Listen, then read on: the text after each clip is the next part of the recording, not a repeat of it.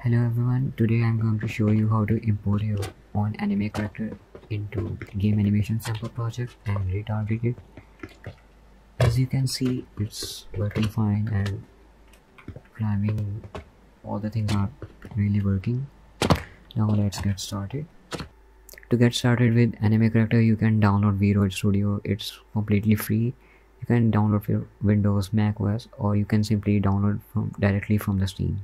After downloading the VRoid Studio, download this plugin. The link will be in the description. Just scroll down here and click this release and then choose the plugin version according to your engine version. I'm using the 5.5 so I will be downloading this 5.5 version. You should download the exact version number as your engine number. Once you have downloaded the VRoid Studio and the plugin required, then create a game animation sample project from here game.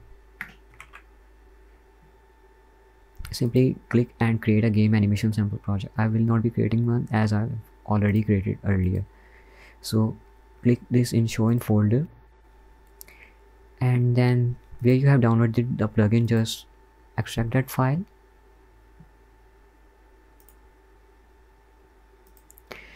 And then simply copy paste it in this folder and then launch the project. Until the project is being compiled and launched, open the VRoid Studio. I will be using this avatar sample. Samplebee. You can use any other anime character. So double click it. It will take some time. So finally the anime character has opened. Click this button to export is as VRM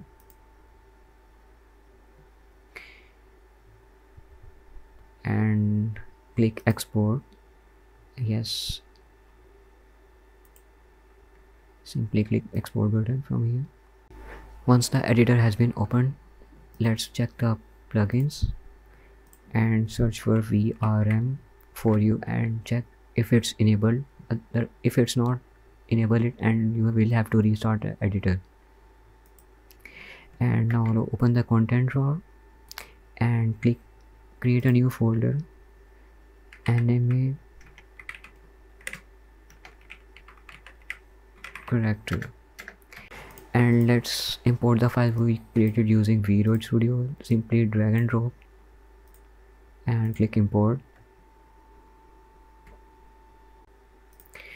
And let's open the world setting. If you if your world setting is not enabled you can just simply go to windows and click this world setting I will just open the default pawn which is our sandbox character.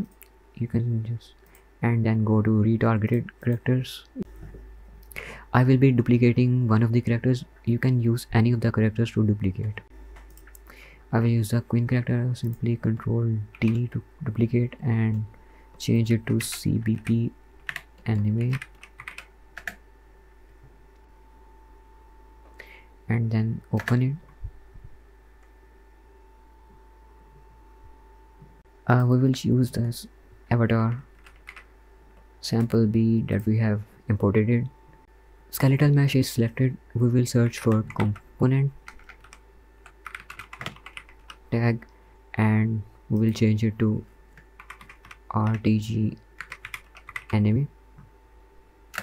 And and verify the skeletal mesh you have selected is avatar sample b. And then click it mesh character and verify you have here skm UEFN mannequin.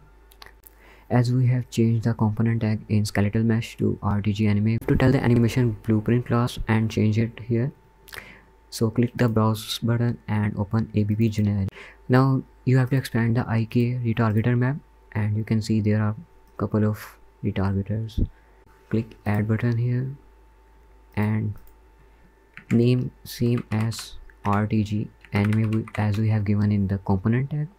And here we will be selecting rtg UEFN avatar sample b which came with our project. Now simply click the compile and go to and compile this one as well. And then in and open the content drawer and simply drag the CBP anime character which we have created and change it in the default pawn class.